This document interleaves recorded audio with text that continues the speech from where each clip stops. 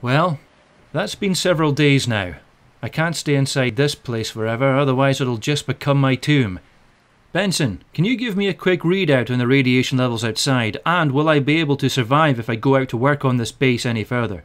Commander, I am still detecting radiation levels outside that vary between 5.4 to 6.3 sieverts. The protective lining in your spacesuit will offer you some protection, but I still estimate that you will receive radiation in the region of approximately 200 to 300 rads. I therefore recommend that if you do plan on going outside, that you do so for no longer than 30 minutes at the most. Otherwise you will start to suffer the effects of ARS. Acknowledged. Thanks, Ben. I'm heading outside right now to take a look around and try to figure out a way how to get us out of this mess. Moving this base block by block just isn't going to work. It'll take too damn long. I need to think of something else. Now, here's the thing. Do I have enough components to create a small ship that's capable of carrying this base? I don't think I do. Yeah, Benson's right. This radiation is way too high. I better not stay out here any longer than absolutely necessary. Now, when I originally built this temporary base, I added six supports, three on either side because of the seismic disturbances. If I get rid of those, maybe I can stick atmospheric thrusters on them instead and move the base using that. No, on second thoughts, I don't think I have the components or the energy for that. Maybe I could use wheels instead. Now there's an idea. Let's see how they look when I attach them to the side. I'll try the 3x3 version, see how they look. 6x6, eh, it's probably going to be just a little bit too big. I'll grind away the first support strut first though, just to make some space.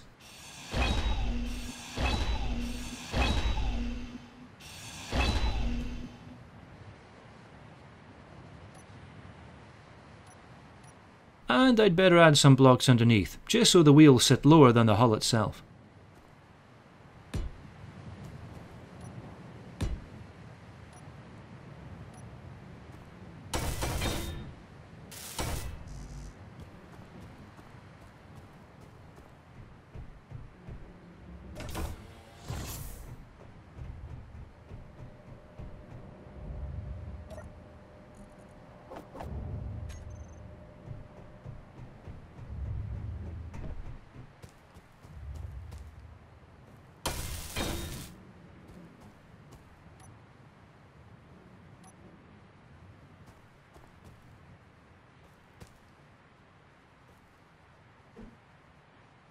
Now, I've got a feeling this is upside down. I'll try rotating it. There we go. I think that's the right way round.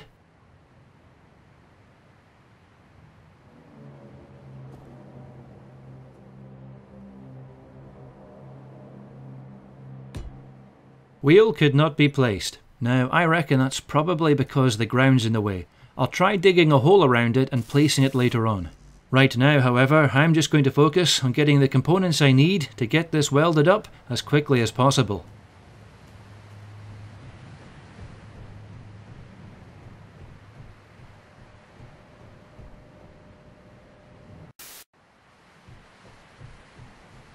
Right, that's the suspension blocks more or less complete. All I need to do now is get the rest of the components to finish off those wheels. So far everything's looking good. I did have to dig out some extra space on the left hand side to fit those wheels in, but that could prove useful in future as once I remove the last support strut, that hole should stop the base from rolling away. I will have to be careful though because I've already been working out here on all this for the last 16 minutes, which means I've only got another 5 to 10 to get all this done, or I run the risk of suffering from acute radiation syndrome, which is something I'm hoping to avoid if at all possible. And since I'm planning on leaving this area for good, what I will do before I leave is salvage all the components from this old hydrogen tank over here. I'll just very quickly check to make sure I've not left any hydrogen bottles inside. Nope. Cool, let's start grinding it down.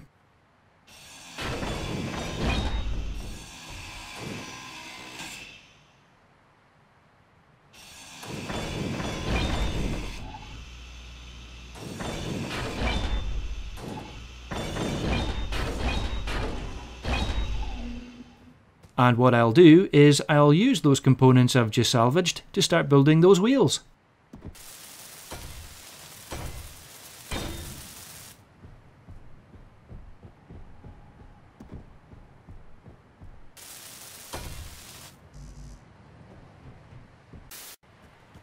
Right, I've been working out here for 22 minutes now, but the good news is that's all but two of those wheels complete, and once those two are done we should be ready to roll. Actually, that reminds me. Benson, just to confirm, and alleviate any fears I may have, once I remove the support struts, those six wheels will safely be able to support the weight of the mobile base, correct? That is correct, Commander. According to my calculations, even though the gravity is slightly higher than Earth's, the wheels and suspension system should be more than adequate to support the weight of the mobile base it is attached to, even when going over uneven ground. Excellent. Thanks, Ben. I did suspect that that would be the case, but it doesn't hurt to double check, just to be sure. Well, not that I could have done anything about it, of course, because there is no more space to add any more wheels to this damn thing.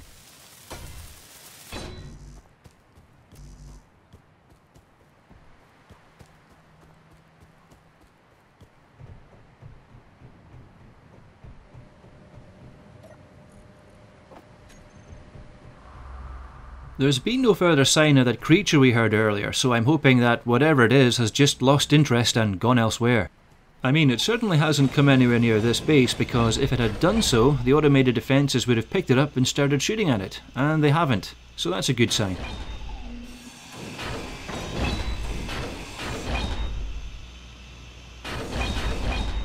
Once again, I'm limited by whatever I can carry in my backpack. You know, it's times like these when I really do miss the construction ship I used to have. But that's okay. What I'll do once I'm more established on this planet later on is I'll build another construction ship that uses atmospheric engines instead. Now that'll be cool.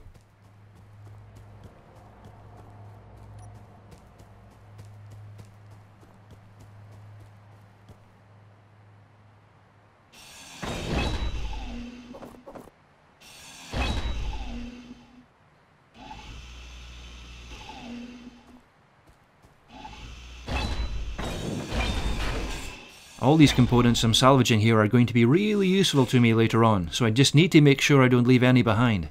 I wish I could get closer to the wreck of the Prestinium and salvage what's left over there, but unfortunately the radiation levels are too high. It really would be a suicide mission.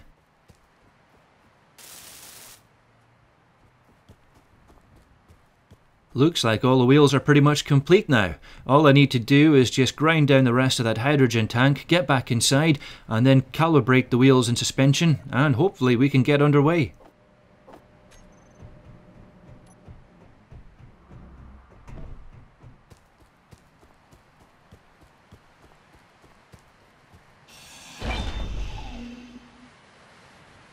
Oh, I've run out of space. Well, that's okay, I'll come back for those in a second.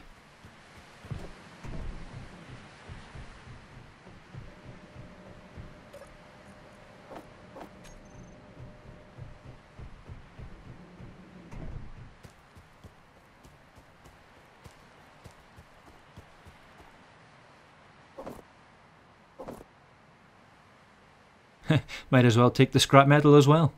Okay, that should be everything. Time to get back inside.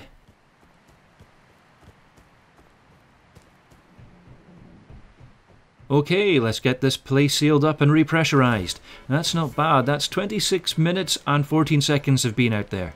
But I'm not finished yet. I still need to convert my living quarters into something resembling a working cockpit.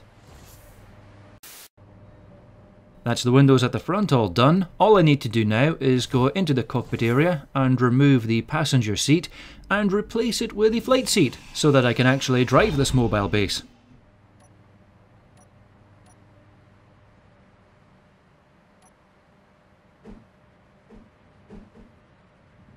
Now this might be just a little bit too far back. I'll move it one block forward and see what it looks like.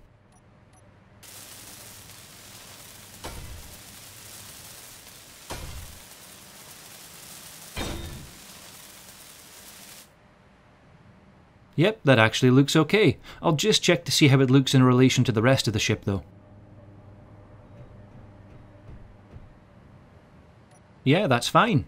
And the way these windows are set up gives me a pretty good field of view as well.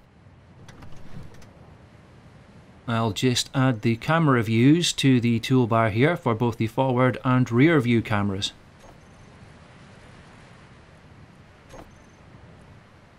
I don't think I need to do anything with these wheels here, but then again, I've never made a vehicle with wheels before, so this is unfamiliar territory for me.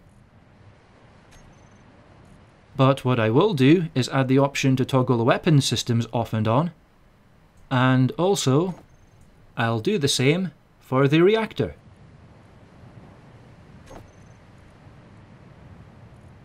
I think I'll leave the lights and the batteries alone for the moment. That'll just make things complicated. All that's left now is to configure the settings for the wheels and the suspension. And to be honest, I don't have a clue what the hell I'm doing, so this could be very interesting.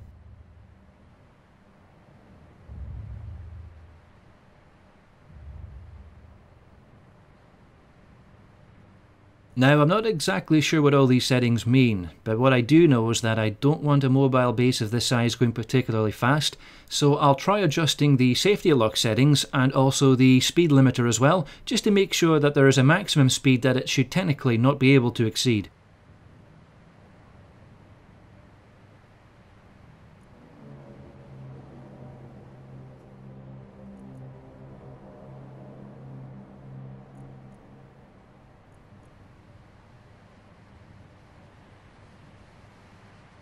I think around 40 kilometers per hour should be enough.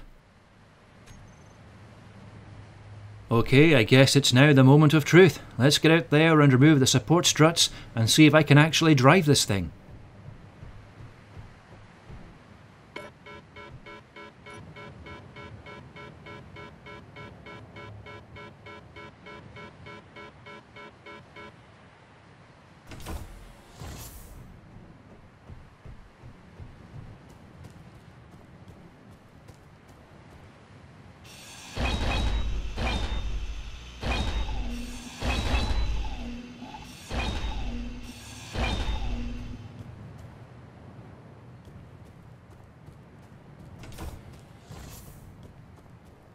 Now, if all goes according to plan, once I remove that last support strut, the vehicle should come down to rest inside that ditch, and it's just a case of getting back inside and driving away.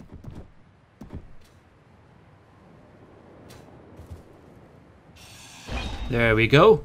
Oh, hang on. Oh shit! Benson, quickly, activate the mobile base's handbrake! Sorry, Commander. I am unable to comply. I have not been uploaded onto the mobile base's computer mainframe. Oh, damn it. Well, that was a bit of an oversight, wasn't it? Goodbye, mobile base. It will stop eventually, I suppose. You know, I didn't even think it was that much of a slope. Well, that stopped it. I guess it's time to go and survey the damage now.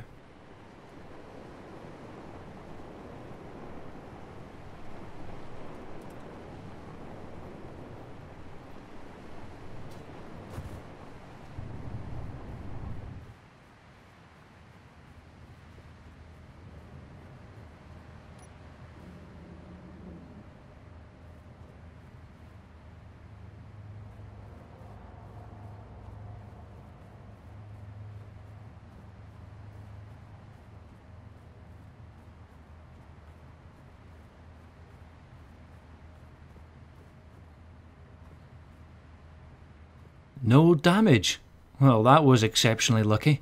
How about the rest of the wheels, though?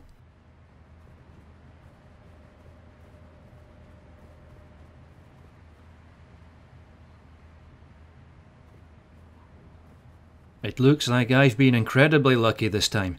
Just as well I didn't decide to build this thing next to the edge of a cliff, otherwise it would be a completely different story. Right, let's get back inside.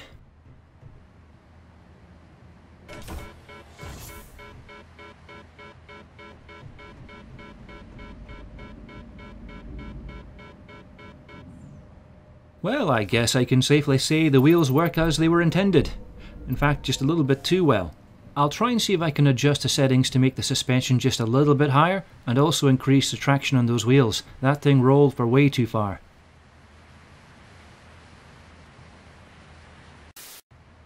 Right, I have just finished recalibrating the settings for the wheels and the suspension and after much trial and error I can see now that I'm relatively happy with them. So I've set the GPS coordinates back to the old escape pod and what I'll do now is I'll slowly and carefully drive over to it and I'll start salvaging the components from that. That's the handbrake off, so here we go.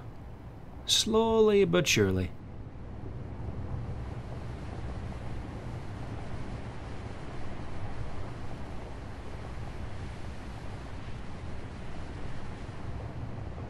This thing does tend to handle pretty sluggishly, but given the size and weight, that doesn't surprise me. I will need to be careful whenever I go up or downhill though, because this thing just does not like steep inclines.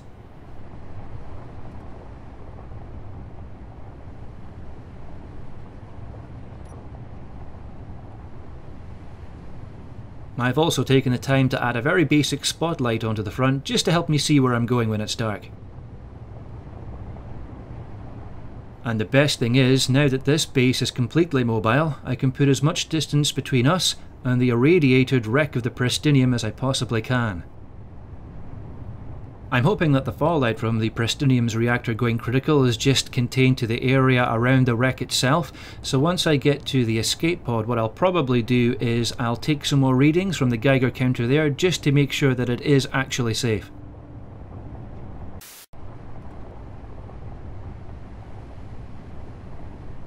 I'm approaching the location of the escape pod now, so what I'll probably do is stop the mobile base just above it, so there's less distance for me to travel back and forth as I salvage the components from it. The only difference being that this time I will be making sure I put the handbrake on.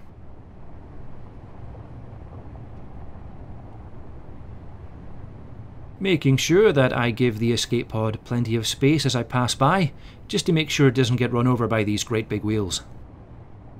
The last thing I want is to have come all this way just to crush the stuff I wanted to salvage.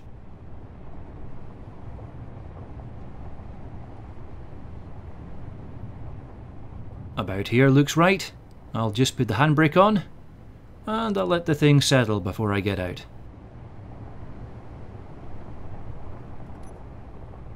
Still waiting for it to settle.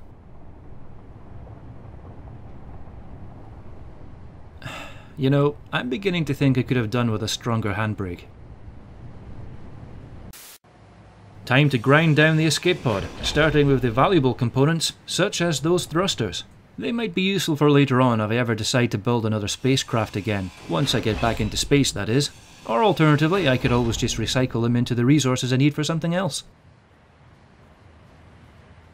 I'll have to get around to making myself some stairs using those metal frames, but for now I'll just use my jetpack. Maybe later on, once I've got some more resources, I might even make myself a makeshift elevator there. But once again, that's a project for later on.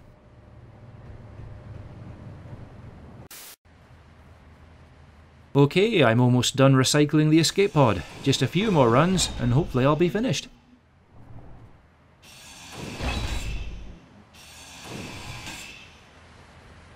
At least I've made some makeshift stairs now, so that'll save me having to use my jetpack all the time. That's the only downside about being on a planet with high gravity and an atmosphere. Your jetpack uses more fuel.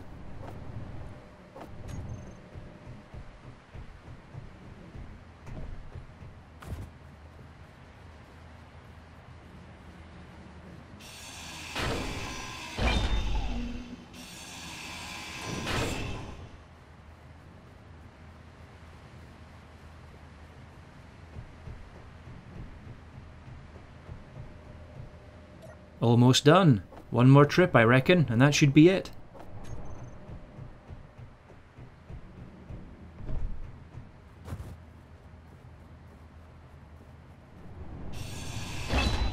There we are. We finally reclaimed everything from the escape pod.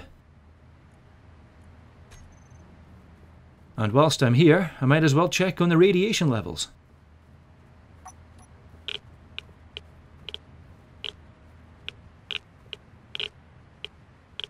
Oh yeah, the levels are a lot lower over here. I mean, this is similar to the background levels of radiation that you get on Earth. Ben, can you just confirm what the radiation levels are for me, please? Acknowledged, Commander. According to these readings, the radiation levels outside the mobile base are approximately 0.96 to 0.99 millisieverts, which is well within safe levels. Excellent. That's great news. Thanks, Ben. Well, I guess I don't have to worry about dying from radiation sickness. Although saying that I have been exposed to slightly elevated levels so I might still get a little bit ill later on but I'm hoping it won't be too bad. You know, I'm impressed of how well this mobile base has turned out. I mean, it's not pretty by any stretch of the imagination, it's more functional, but considering it's made from the wreckage of the Prestinium, I think it turned out pretty well. At the very least, it means I can now explore the rest of this planet's surface. Speaking of exploring, my next priority will be to try and see if I can secure some resources somewhere. I need iron, silicon, gold, and a whole load of things to try and see if I can either make this mobile base larger and more functional, or maybe even find somewhere to build a larger, more permanent base. My ultimate goal, after I've done all that, is to eventually build a spaceship that can get me off this planet and hopefully take me back to Earth. Actually, hold on. Benson, analysing those sounds, can you give me a rough idea as to where they're coming from? Affirmative, Commander. Based on the surrounding geography and atmospheric density, I have identified the approximate source of the nearest of the unknown sounds. Would you like me to add it as a waypoint on your suit's onboard personal computer? Affirmative, Ben. Please do. It might be worth investigating to find out what they are, especially now we're mobile. There it is, Anomaly 001. Estimated source of the closest of the unknown sounds. Perfect. Good work, Ben. And it's only 17 kilometres away, so hopefully it won't take us too long to get there. Excellent. Well, I guess it's time for us to finally head out and get to the bottom of whatever the hell it is that's causing those weird noises out there.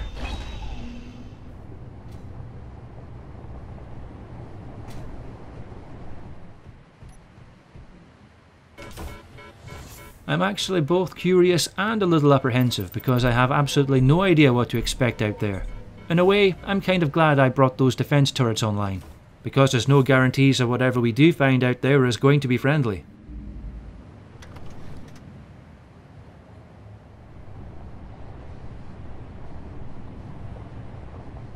Here we go. Time for us to drive off into the unknown.